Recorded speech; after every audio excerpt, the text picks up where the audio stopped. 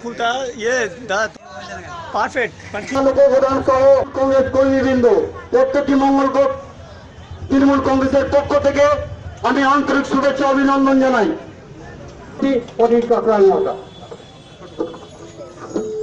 সদ্য আজকে পথসভার সভাপতি এখানে উপস্থিত আছেন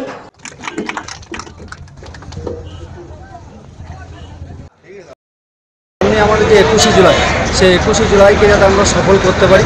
হ্যাঁ আমাদের জননেত্রী মমতা বন্দ্যোপাধ্যায়ের এই একুশে জুলাই যাতে আমরা বিপুল পরিমাণে আমার তৃণমূল সমর্থক কলকাতায় পা রাখতে পারি, তার উদ্দেশ্যে আজকে আমাদের